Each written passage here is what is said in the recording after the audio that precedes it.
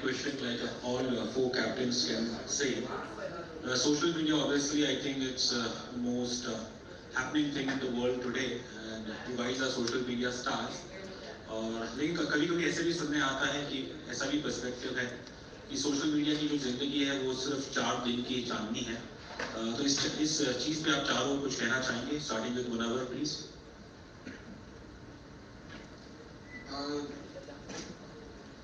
जैसे बोलते चार दिन की चांदनी है।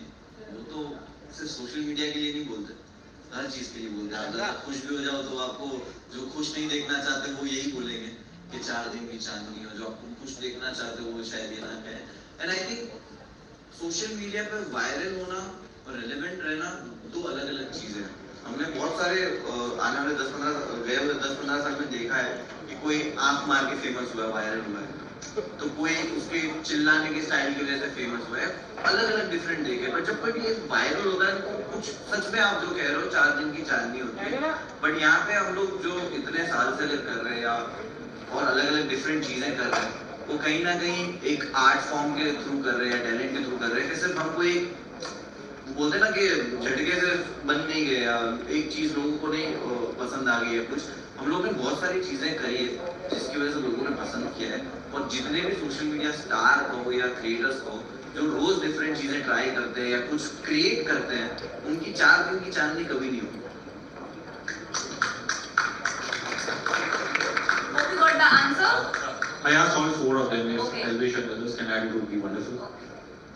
ये बिल्कुल सही कहा आपने कि सोशल मीडिया की लाइफ चार दिन की चांदनी फिर अंधेरी रात देखो मेरे केस में मैं अपने में बता सकता हूँ कि चार दिन की चांदनी भी है, अंधेरी रात भी आती है, उसके बाद फिर चार दिन दोबारा अच्छे आते हैं और फिर चार दिन फिर अंधेरी रात आ जाती है।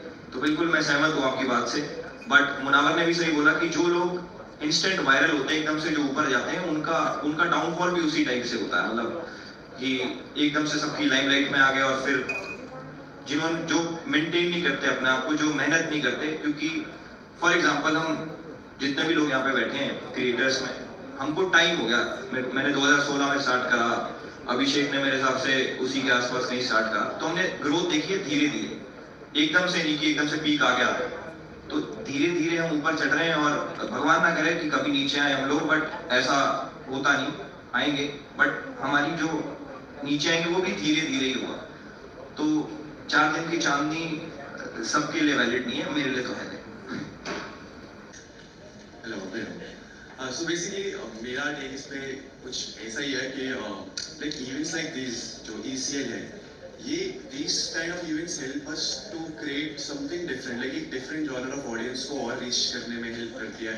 एंड मतलब इट्स लाइक सब कुछ आपके हार्ड वर्क पे डिपेंड करता है. If you are just presenting every time same thing on the table obviously एक time will come in the audience gets bored and they will like बस भाई, इसको मैं कितना दे दूँ चार दिन के चार दिन, तब मेरे को लगता है वो वायरल होता है. But when you keep on trying new stuff, आप नई नई चीज़ें ट्राई करते हो नई नई ऑडियंस को रीच आउट करना चाहते हो, आप इट्स लाइक अगर हम बिग बॉस में गए बिग बॉस के बाद हम इधर आए ईसीएल में आए एंड ऐसे जब हम डिफरेंट डिफरेंट चीज़ें हम करते रहते तो आई फील एक लॉन्ग टर्म रेलिवेंसी और एक लॉन्ग टर्म लोगों को कुछ नया मिलता रहता है। तो आई एम वेरी थैंकफुल ये इवेंट के लिए भी because these kind of events help us to get new audience and to bring something new for our audience मतलब किसी ने हमारे अगर ब्लॉग्स में देखा होगा बट उन्होंने कभी कम्पिटिटिव क्रिकेट खेलते हुए नहीं देखा होगा। तो जब ये मैचेस होंगे तो उसमें एक डिफरेंट साइड बाहर आना कि भाई अच्छा ये क्रिकेट भी खेलते और क्रिकेट को लेके इतने पैशनेट है।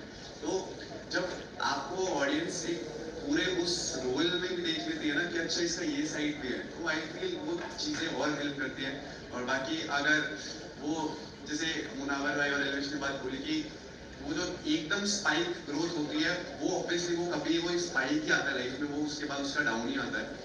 और बट मुझे सर है जितने भी क्रिएटर्स यहाँ बैठे हैं और सर मैंने इतने टाइम से इनको देखा है तो सबने अपने ऑडियंस धीरे धीरे विद टाइम बिल्ड करी है। और इंडस्ट्री में चार दिन से तो ज़्यादा हो